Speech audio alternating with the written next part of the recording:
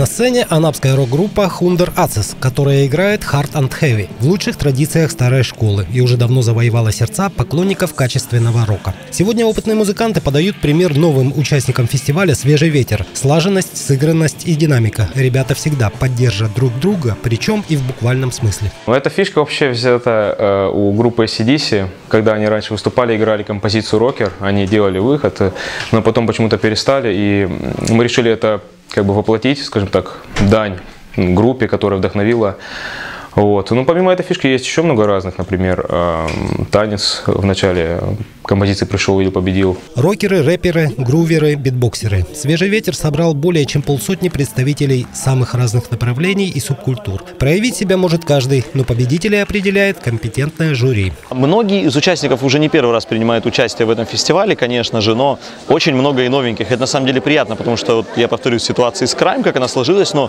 люди все равно хотят, люди все равно собираются, то есть у них есть действительно желание этим заниматься, творить и развиваться. Богдан Король пробует себя в одном из самых сложных направлений – битбоксе. Это его первые шаги в творчестве. Однако он не побоялся вступить в батл с более опытным соперником. Получилась весьма зрелищная дуэль.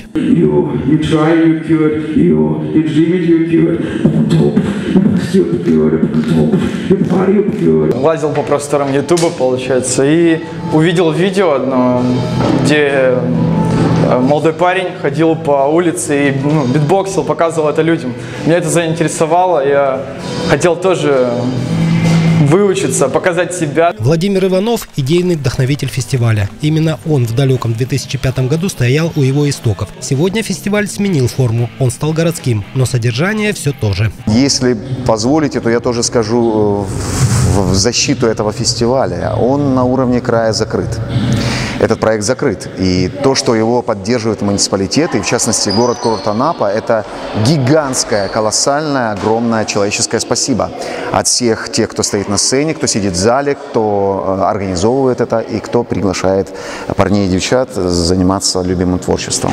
По итогам фестиваля определились победители. Лучшей рок-группой стал коллектив «Усики», лучшим битбоксером Богдан Король. В номинации рэп-группа победил состав «Неопознанная», а в индивидуальных рэп-выступлениях не было равных исполнителю Майку Ти. Победители получили не только свою минуту славы, но и подарки.